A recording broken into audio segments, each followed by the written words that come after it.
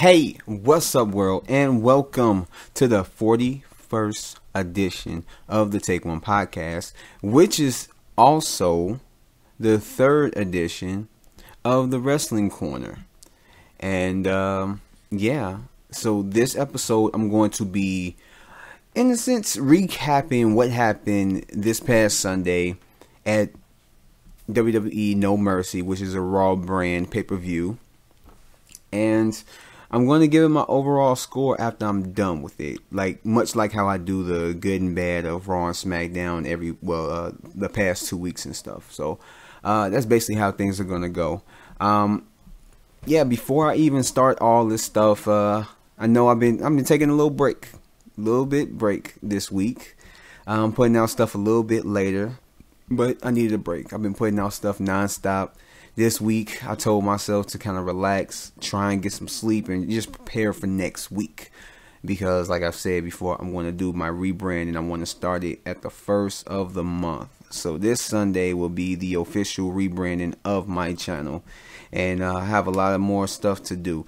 Um, or, you know, a lot more stuff to do. I have a lot more stuff to give out. But in any case, um, more on that on the next podcast, the uh, 42nd.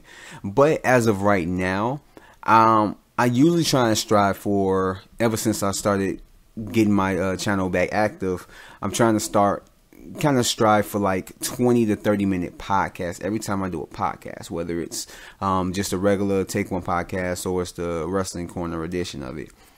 This one, may go a little bit over. It may go. I'm giving my time frame to 30 to 40 minutes, at least you know 10 minutes over 30. So I mean, however long it goes, it goes. But I'm going to basically give the my thoughts on it and all that stuff. I uh, ended up watching the pay per view late because I had other stuff to do. So, but in any case, let's get right into it. Um, so we started off I'm not even gonna get into the kickoff because honestly, I didn't even watch the kickoff. I don't even know why they have kickoffs nowadays. Because for the simple fact that uh, last time we had a kickoff, well, I think it was SummerSlam. Miz was in the kickoff defending his Intercontinental Championship, and at that time, people were still coming in.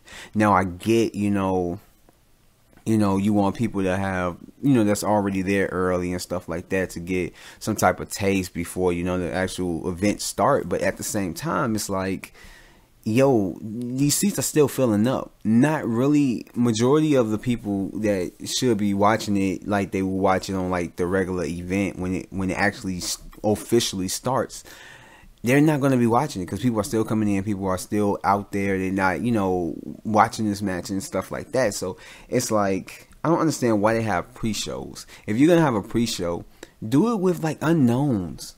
Do it with people who are not the Miz, who are not a, uh, a freaking Elias. You know, do it with people that's not a John Cena or I mean John Cena of course is never gonna be in the kickoff. Uh, well, I mean, eh, I mean, he never say never, but especially now since he's gonna be since he's part time, he damn sure is not gonna be there because they're gonna want to basically make a big event out of every single time he comes back. So. But you know, you get what I mean. Like to give a, a spot like that to the you know um uh, what is it, the pre-show to someone named someone like a Finn Balor or uh, a Bray Wyatt or something like that. It's just it's kind of disrespectful in a sense. I think they should do away with it or just do it with like lesser known names. Maybe do it to the cruiserweights that you know uh, a lot of people don't know. You know, and just do it like that. But in any case, um, I heard uh, Elias won. Uh, I think he was going against like a Apollo Crews. I really didn't care, really at all. I really didn't care to watch that. But um, moving on to the actual first match of the night, which was The Miz defending his IC championship, his Intercontinental Championship, against Jason Jordan. And this match was actually a pretty good match. I uh, I liked it. Um, the Miz ended up capitalizing off of the interference from the Miztourage and uh, he wins. And after after that, you know, um, Jason Jordan was approached and asked him how does he feel about this, and it's the promo he needs he needs a lot of help on the mics. He, he has he needs a lot of help developing mic skills because this guy he just I want to feel his pain. I want to feel his anger. I want to feel his sadness. Whatever he's delivering, I want to feel it. But overall, he's just not there. I mean, he may be a good um, ring performer, but when it comes to you know just getting on the mic and actually just saying something worthwhile or something funny or something just entertaining to everybody, to the WWE universe, to you, to me, and blah blah. It, it's just it's he he he lacks on it so so much. And I'm I'm pretty sure that Kurt Angle was working with him maybe in the back or I mean I, this is just my guess. You would think that since they're working kind of like a story together, you would think that you know they don't have to freaking drive everywhere because they're not tag team partners. But still, in the same sense, you would think that behind the scenes, I mean, like really behind the scenes, that Kurt Angle was probably giving him tips on what he should do, what he should not do, how he should do. Just it, it just it seems like I mean, right now he just needs to talk less. He needs to do what they should do with Roman and what they kind of, well, not kind of, well, what they should do with Roman. Roman ain't that great on mic, but they just kind of need to like chill him back, give him a line or two, or you know, a few lines and stuff. Don't give him a whole paragraph to remember, you know. And it's just the same thing with Jason Jordan. Just give him a little bit to say, let him go in the ring, tear down, and then leave. That's it. That's all they need to do. But I think they're working the angle to where he's going to turn heel. But in any case, that was the match. Uh, the next match was Bray Wyatt versus Finn Balor. And in the match, you know, um, Finn Balor ends up getting attacked by Bray and taken out to where you know you always you almost think that he was going to you know the match wasn't even going to happen until Bray grabbed the microphone and that basically was at the point where we like okay well this match is going to continue because he's going to fire Finn up and then Finn to you know go back in the ring and this match is to be had but the thing is that I didn't like about it was that it was predictable in that sense but why in the hell would you beat down your opponent? Beat down your opponent. And as he's walking away, taunt him. I get, you know, you want to make, you know, you want to do it. I mean, you're a heel. But in the same sense, why would you taunt him? Especially when you see him turn around and he's angry, this and that. You're, it, it basically, it, it didn't come out to where it's like he was taunting him you know, just to, you know, mock him, you know, not even mock him, but taunt him and all this stuff and just talk about him and all that, you know, he's not going to c- compete. It was, he was doing it in a sense to rile him up to get him to come back. Now, I mean, and that's just basically how I perceived it. It's like, why would you grab the mic and talk crap? Like I would do it after he left. I would do it like backstage. I mean, I know this is all storyline, but still, I mean, when you're doing storylines, you need to kind of you know, make stuff make sense. And that didn't make sense for him to grab the mic and do that when you know specifically he's a tough motherfucker and he's going to want to come back and basically kick your ass, you know? And it's just, I didn't get that. You beat him down, but then you encourage him to be strong and fight. But in any case, Finn comes back and um, he wins with his finisher, of course. It wasn't no um, quick roll up or anything. He did the uh, coup de grace, and he wins against uh, Bray Wyatt, which I believe. I thought this was like the third match. I think maybe it's the second match that they had together. Maybe I, I'm not entirely sure. I maybe have to like go check or something. But in any case, I, I, really don't care too much to do that. But I mean, it was a it was a pretty cool match. It was a pretty cool match. It was just I didn't like how it began. I just didn't like that. Uh, going on to the next match is uh, Dean Ambrose and Seth Rollins versus Sheamus and Cesaro. Now, one thing that came out of this, since it's a you know some days later, is a lot of people were talking about Cesaro's teeth. Now, there was a spot where I believe it was Dean Ambrose or Seth Rollins. It was one of them. They basically uh, flip him up into the turnbuckle, and instead of hitting the turnbuckle, he, I guess, I don't know, like when you're when you're doing these moves, of course you're helping the move be performed because a lot of these moves, if you were just there, way more than likely couldn't be performed in a certain type of way that you know it is seen. So uh, he throws himself a little bit further than what I think he wanted to, and hits his hits his mouth up against the metal pole behind the turnbuckle. And he gets down, he turns around, kind of holds his hands to his mouth and drops to his knees. And you can see that uh, there's a lot of blood and it seems like he's lost teeth. I'm not sure, but I've heard that he didn't lose teeth, they got pushed up. Whether or not, I mean, just losing teeth in that type of way is hard enough. It's bad enough to get cracked teeth, lost teeth, whatever happened. It's bad enough, especially with all that blood. But to do that and get your teeth pushed up in your gums, that is something that's a whole totally different type of monster. And the other notable thing to come out of this match is that not only did that happen, but he literally finished the match. Didn't win, but finished the match. And this happened not in the middle of the match, not towards the end, but fairly, relatively around the beginning of the match. And I want to say this match, maybe, I want to say maybe about 10 minutes. So he went the rest of the match basically hurting. His mouth is just bleeding and all this stuff.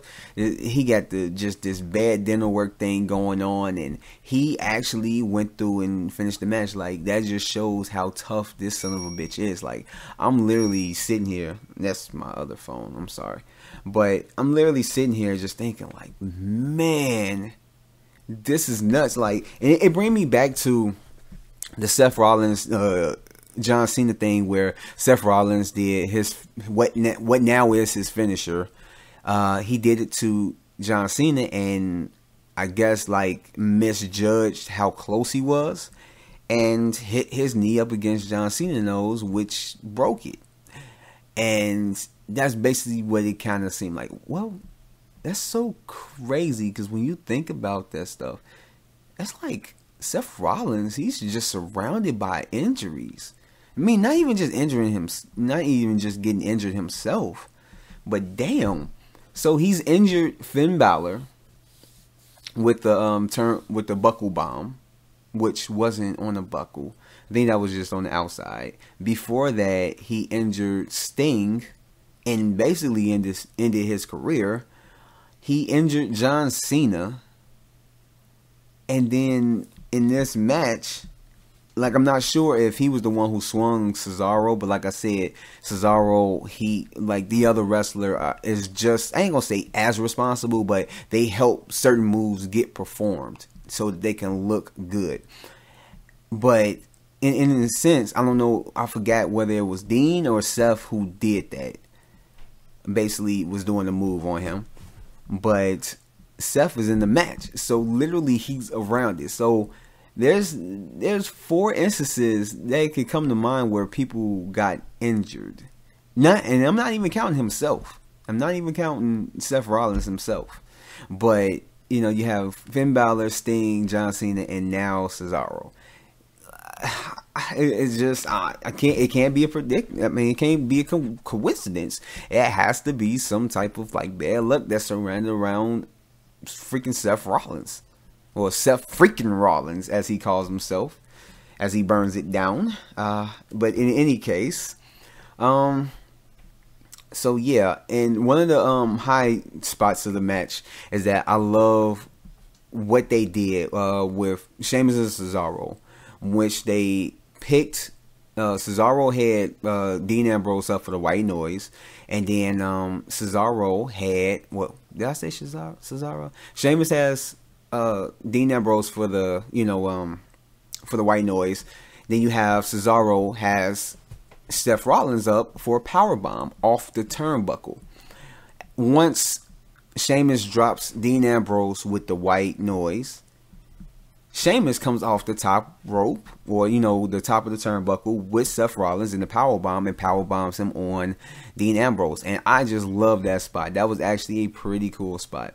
But in all of that, uh, it comes to it to where they didn't win. uh, they they I love Dean Ambrose and Seth Rollins' finisher. I love it, but basically, uh, one of the spots that I did like this is at the end that I did like was that when uh, freaking Sheamus, I believe he was about to Brogue kick Dean Ambrose. Dean Ambrose just fell. And I, I thought, like, I literally, like, I listened to, I, I believe, I listened to other podcasts, and they didn't mention that. I believe maybe one mentioned that or whatever. Of ones that I listened to, but it was crazy. Like no one mentioned that. Like that shit was like kind of actually pretty cool. I like that. He drops down, just literally just drops, and it's like Sheamus is looking like okay, you know, whatever. So he tries to pick him up. He pin, tries to pin him, and then you know he gets like the two count, and then once he gets up, uh, Sheamus tries to Brogue kick him. He moves out the way, and then he ends up Brogue kicking um, Sheamus, in which basically uh, Seth Rollins and Dean Ambrose do their finisher on him, and they secure the victory. And they are still tag team champions. Uh, the next match was the Fatal Five Way between Nia Jax. Nia? Yeah, I think yeah, Nia Jax. I'm tweaking. I don't know why I'm thinking you know Nia Jax uh, Nia Jax, Emma, Bayley, Sasha Banks, and uh, Alexa Bliss. Oh, Alexa, Alexa Bliss. And so, uh, yeah, like matter of fact, looking back, I uh, how how my predictions been so far? Uh, I said the Miz is gonna win. Uh, said that Wyatt was gonna win. I totally bombed that. Dean Ambrose and uh, Seth Rollins. I said they were gonna win. Uh, this fatal five way. This one I said that Bayley was going to win. This is all part of my predictions. I thought that Bayley was going to win. But um no, she did not win. She did not win. Uh one of the high spots of it is that I love when Nia when um Nia does the Samoa drop to uh, Sasha Banks and Alexa Bliss. That was actually a pretty cool spot, and it I like it because they haven't really been doing Nia Jax too well as far as handling her character. But that was one spot to show what type of monster she is. Even though they're trying to make her like a beautiful monster, it's like that. It just shows what type of monster she is to you know do something like that. It shows her strength. So I felt like that was actually a needed spot within the match.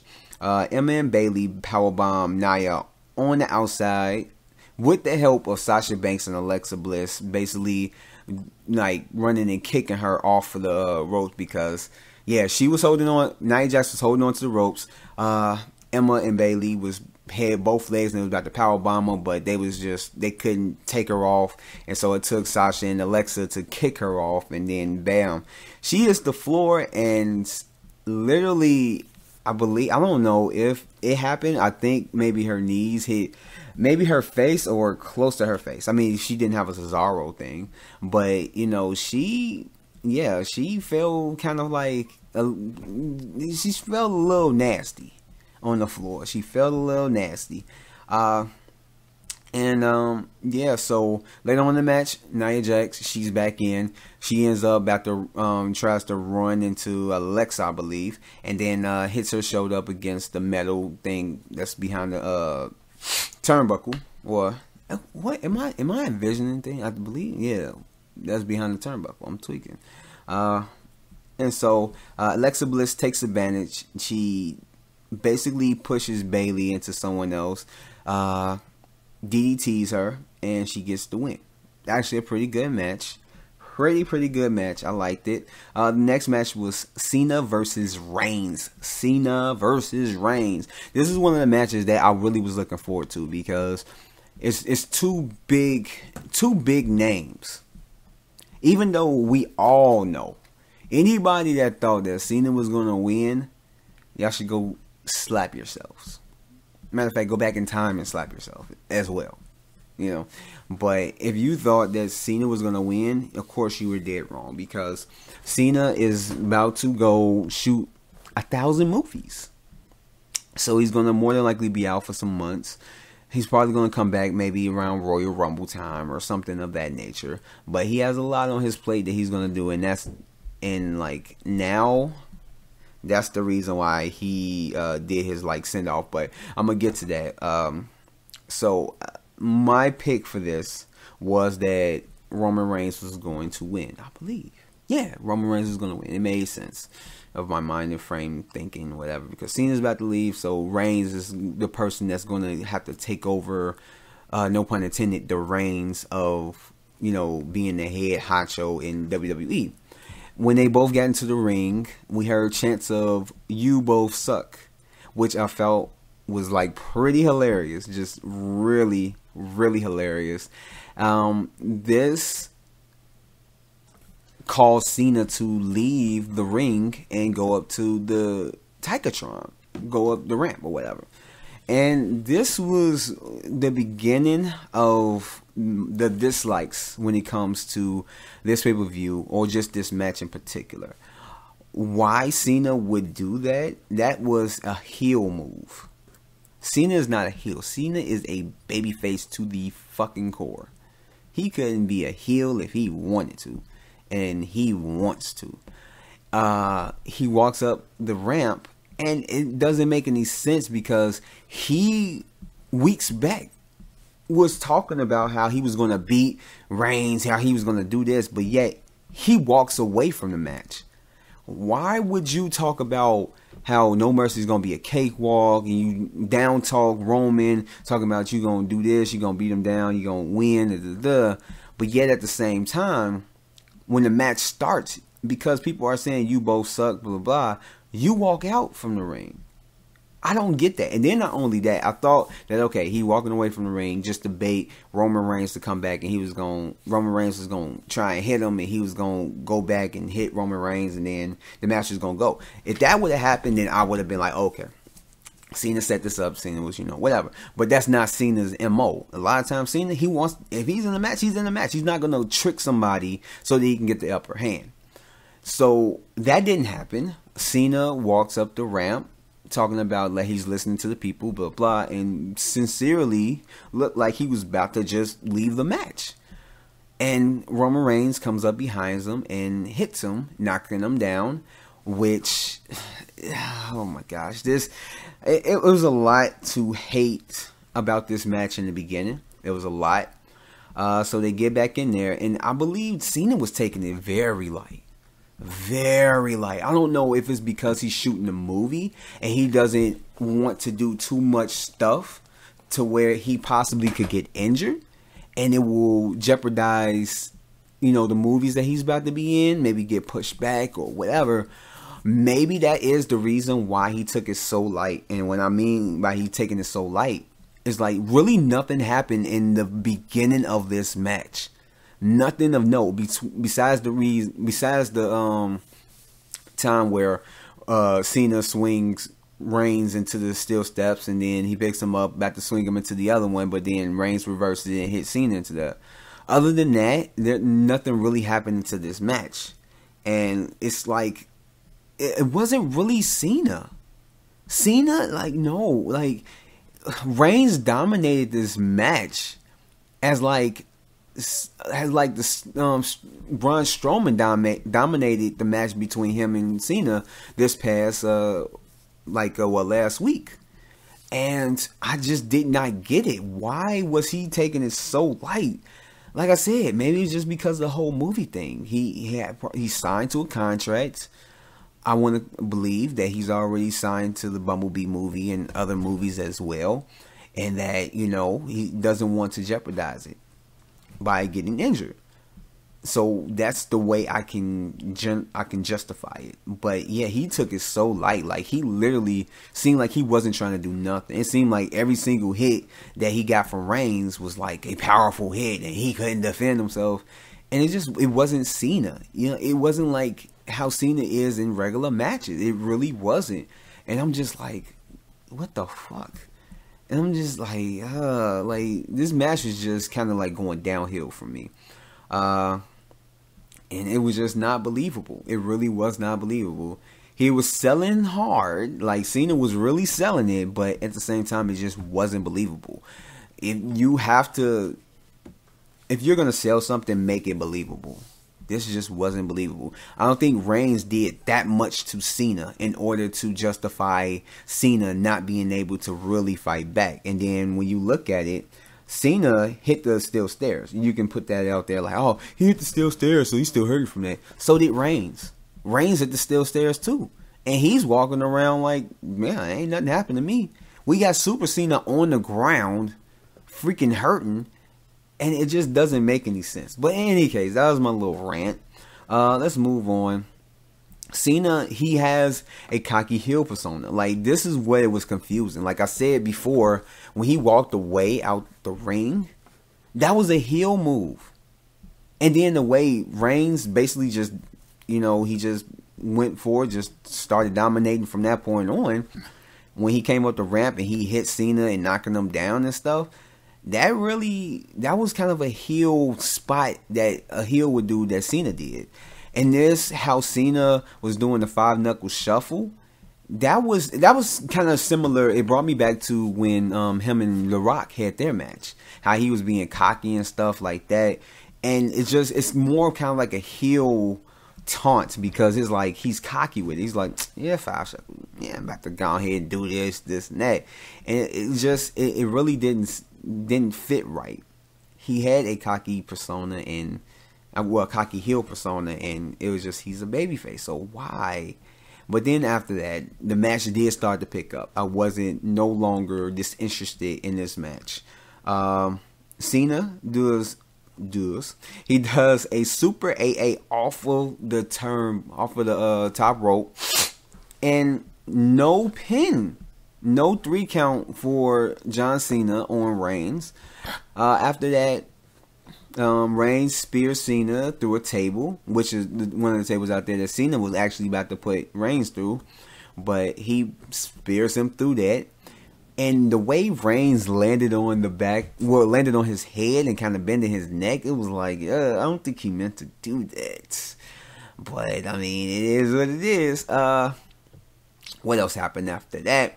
Um, John Cena does the fourth AA and still no three count. It's like, wow. This is like the AA in a sense.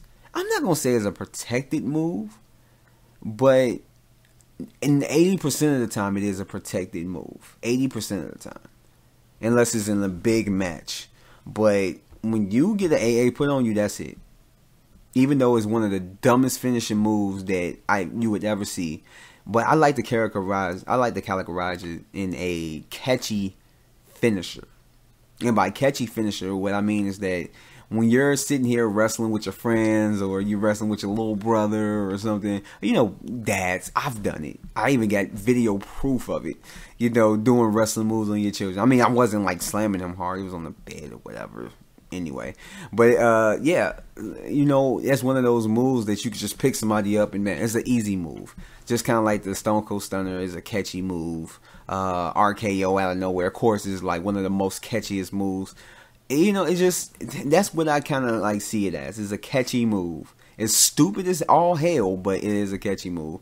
So he does the fourth AA, no uh, pinfall, but yet um, Roman Reigns recovers, uh, does a Superman punch and spears him for the win. Uh, this match was lackluster part of the match was just horrible, just bad, in the sense of just Cena. It, was like he left Roman Reigns to carry it. Roman Reigns did decent, but you know it, it, it depends on both performers. And Cena just wasn't doing his part in the beginning, but towards the end, you know, it's just you know whatever. But um, it was a it was a it was a match, put it like that. It was it the other matches before then was actually better. Were actually better than this match. And this was like basically one of the main events of tonight and they just kind of like dropped the ball on it. So I mean it is whatever. Uh Super Cena loses to the Superman punch by Reigns.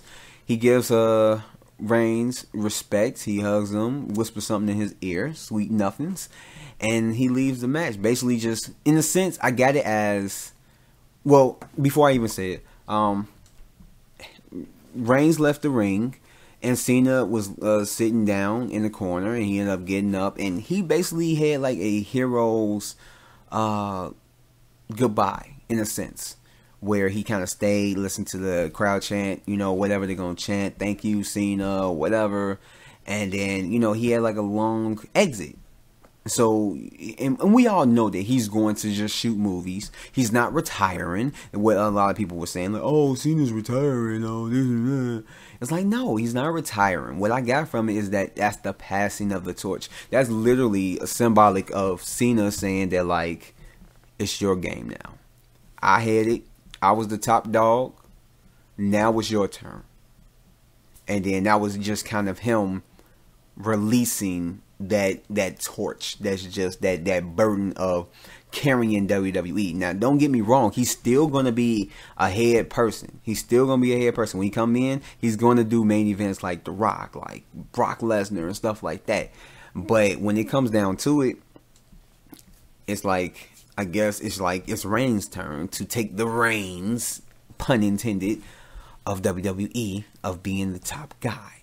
And so that's basically what I got from it. It's just the relinquishing of the torch. He's not retiring. He's not done. He's going to do a few movies. He's going to come back more than likely by Royal Rumble. If not, after Royal Rumble, going into WrestleMania. And then he's going to probably leave after Mania and just do that type of stuff. Maybe just come back for the big shows. And that's basically it.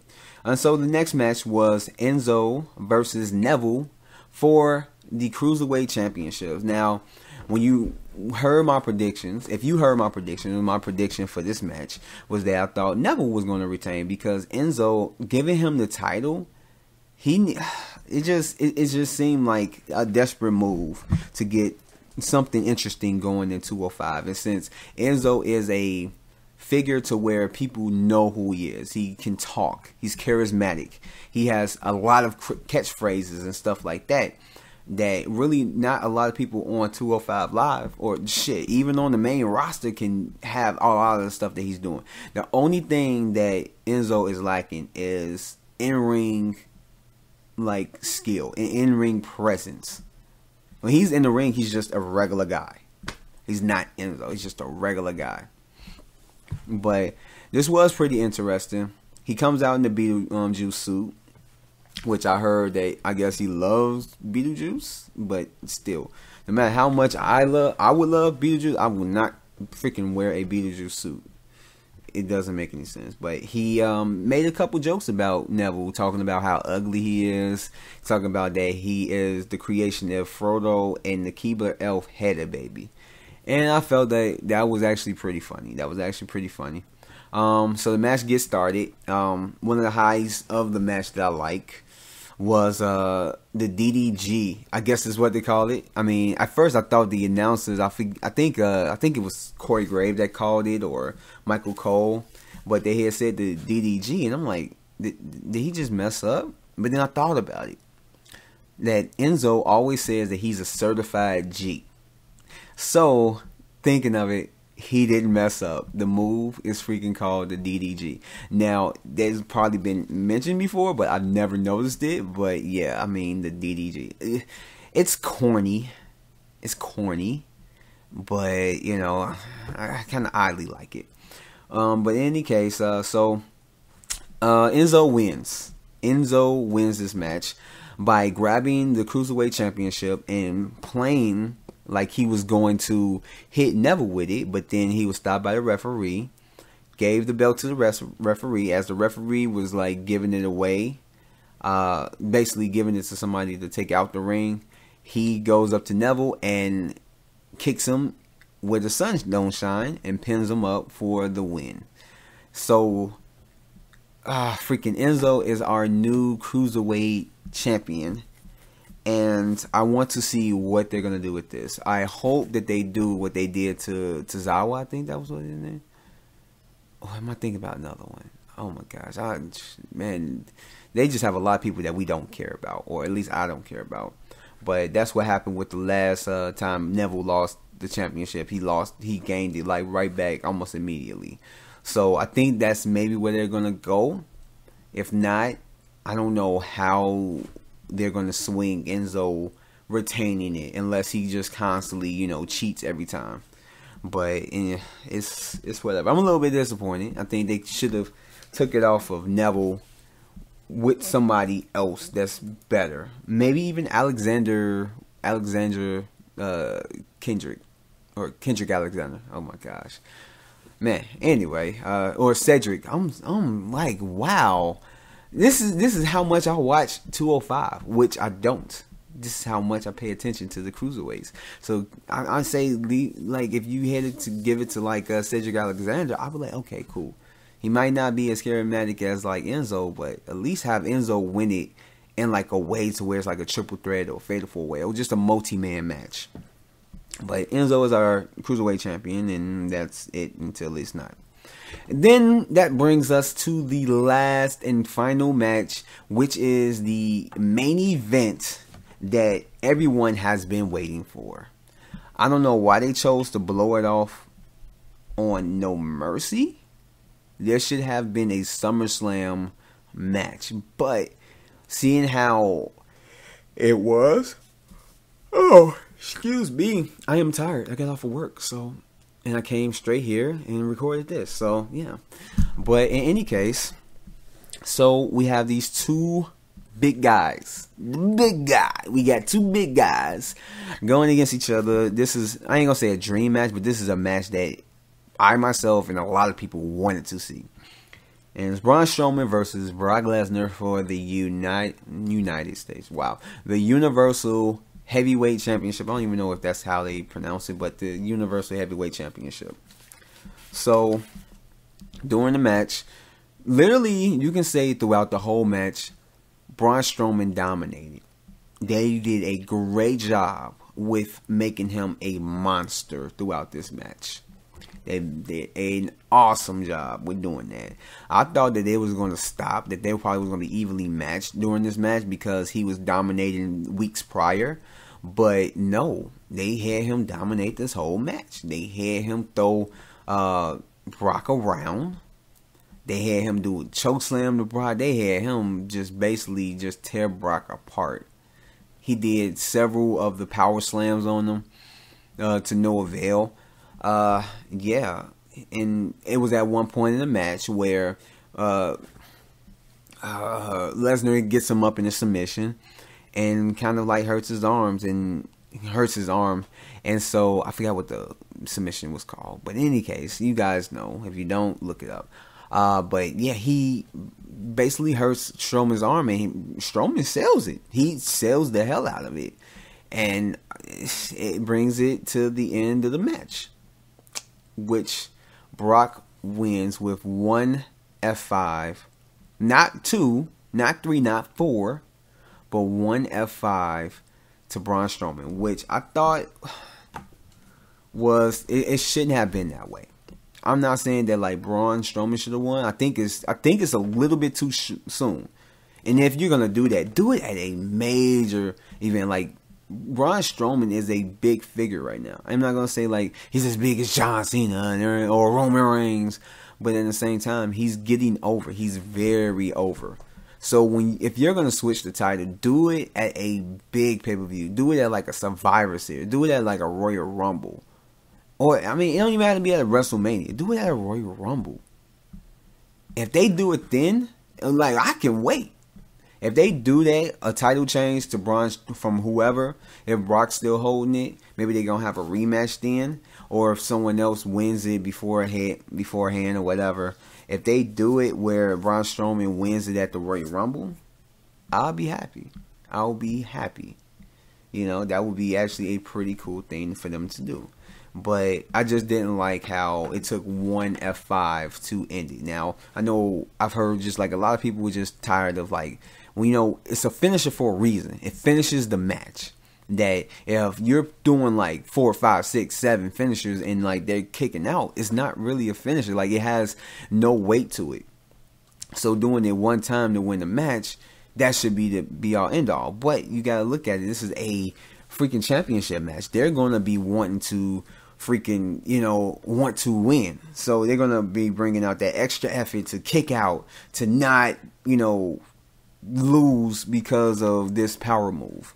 But I mean, I get it, but I just think that it should have been a lot more done to put down Strowman rather than just one F5. But Brock retains, uh, and more than likely going to disappear for the next 10 months before he reprises again for a month and then disappears again. But yeah, so Brock Lesnar wins with an F5, and he gave uh, Strowman gave Brock a run for his money. He gave him an ass whooping. He dominated the match. Even though he didn't win, he still, in a sense, won because he basically, Brock Lesnar survived this. He survived this. And that's basically the end of the pay per view. That is it. And um, it actually wasn't a bad pay per view. It actually wasn't. It actually wasn't. I'm dreading dreading to see what SmackDown is going to do at their Hell in the Cell pay per view. I am dreading because the whole Jinder Mahal thing with Shinsuke Nakamura. It's just man abysmal the stuff that's happening on SmackDown, but it is what it is. Um, and don't really have anything else more to say. I covered all the matches, all of my notes did that. You know, I have a crazy amount of notes besides the ones on the Cena and Reigns. Uh, out of all the matches, out of all the matches, I'll say the best match and the worst match. Huh. If I had to pick the best match and the worst match, I would say it's really no best match. It, it's, it's, it's more of the better matches out of the mat out of all the matches the better match is the one that really I was actually really looking forward to was the Brock uh, Strowman match. And I would say below that would be the tag team match. That was actually pretty entertaining. That was actually pretty good. Not even just because of Cesaro lost the team, which that I know it's bad, but say that put it up points. That that put it um the match up points. You know, and more of like an interesting look to see what's gonna happen. Is he gonna finish the match and stuff like that? But uh, yeah, so um, that would be at like a close second. Then it would be a.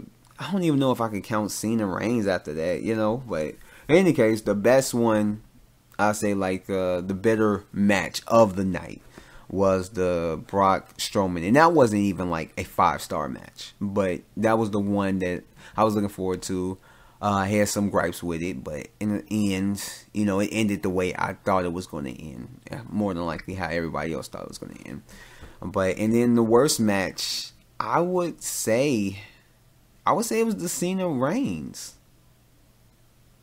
I ain't gonna say the worst. No, you know what? I will put. I'll put right above right. I'll put the Cena Reigns match right above the Neville um Neville Enzo match. Not saying that it was like the worst match because it really wasn't a horrible match. But it's like because of Cena and Reigns did just like they just went off the rails at the beginning and then just picked up. It's like if it would have kept that way, that would would have been the worst match. But you know, it it wasn't too bad. It was half bad and half good. But yeah, so the best match or the better match of the night was the Strom with the was the Brock Strowman match, and then the worst match, uh, or the least more my least favorite match. My least favorite match was the Enzo Neville match.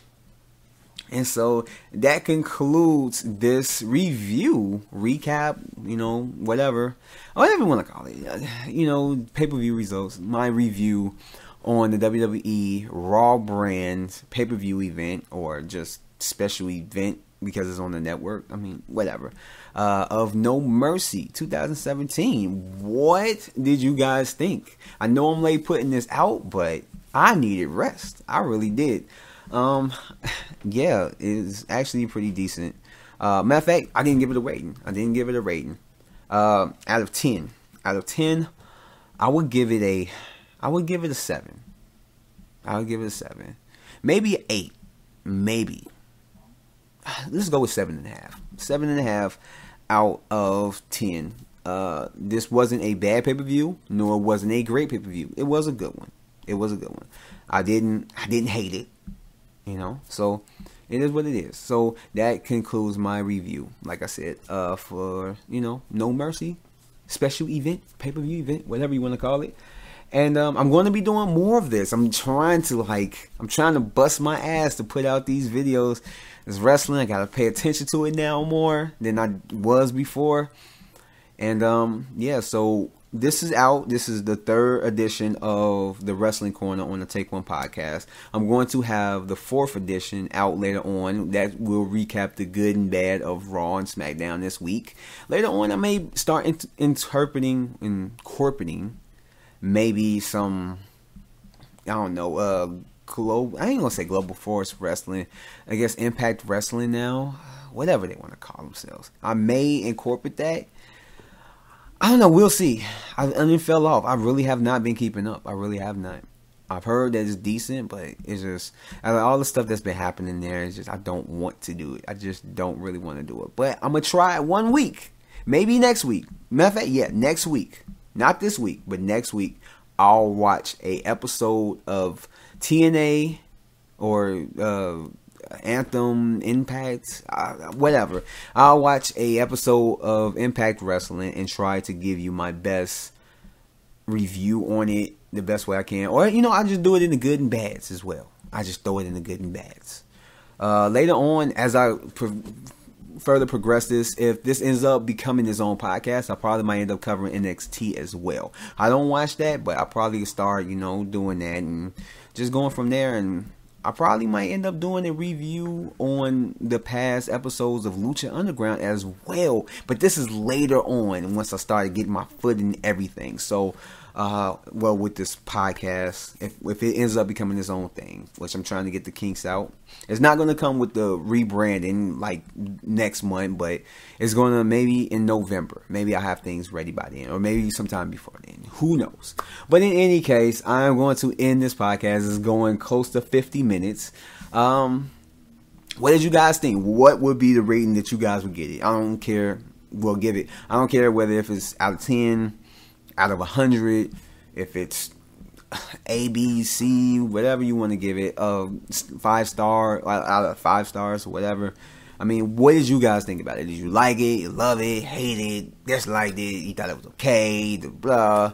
Uh, what did you think? What did you think? Um, put it down there in the comment section below. Like this video. I believe that this went actually pretty good. This was actually a pretty good podcast. Uh, yeah, so go ahead, hit the like button, subscribe.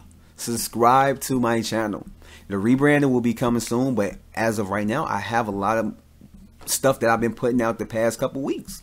Go check it out. The movie reviews, spoiler cast, other podcasts, quick takes and stuff like that. And I'm gonna have a lot more. I have a new show review that I'm gonna start doing much more of those. Uh, and some other stuff that I'm gonna be doing. Music reviews and a whole bunch of stuff. The whole nine. But uh, yeah, so and turn on your notifications. Everything else is in the description from social media and all that stuff. And uh, yeah, that concludes it. So I will catch you guys on the next Take One podcast, as well as like if you're just wrestling fans and you listen to this, I will catch you later on this week on the fourth edition of the Wrestling Corner portion of the Take One podcast this weekend. So we're gonna be discussing, like I said, the good and bad about Raw and SmackDown. I'm just repeating myself. So I will catch you guys later. Peace.